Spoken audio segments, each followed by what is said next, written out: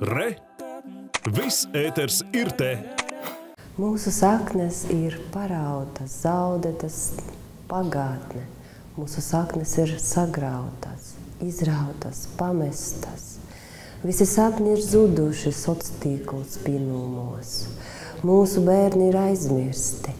Laikam plūstot ir sagrautas pilsētas. Savā jaunākajā personāla izstādē SOS Life Matters māksliniece Jūlija Resko piedāvā personīgu viedokli par cilvēka dzīvības vērtību un par mūsdienu civilizācijas vienreizīgumu. Vēlme izteikties par pat labam pasaulē notiekošo māksliniecē radās pandēmijas nomācošās ietekmes laikā, kad lielu daļu cilvēku prātu pārņēma agresija un neiecietība. Tā grīzietsveršana Tā agresija tolaik neizskaidrojamu iemeslu dēļ skāra teju visus.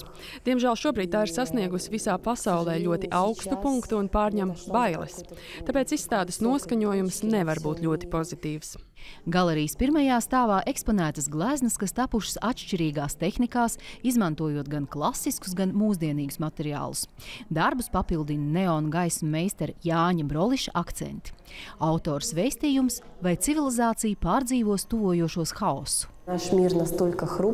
Mūsu pasaule ir tik trausla, un mēs jau tik daudz esam piedzīvojuši. Mēs esam tik daudz pārdzīvojuši.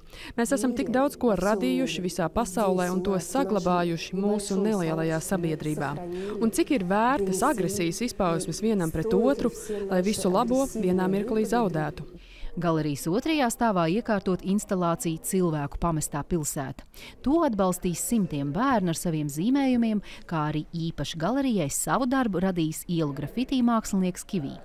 Šajos stāstos Jūlija Resko sevi izpaudusi kā scenogrāfi. Kad, ja, uh... Kad es sāku veidot scenogrāfiju, ap mani uzrādījās ļoti daudz radošu personību, piedāvājot savas idejas un darbus. Man bija tikai ideja un scenogrāfija. Jūlijas Iresko darba izstādē SOS Life Matter galerijā Muzeum LV būs skatām līdz gada beigām. Līga Gaigala un Pēters Barkevičs Latvijas televīzija.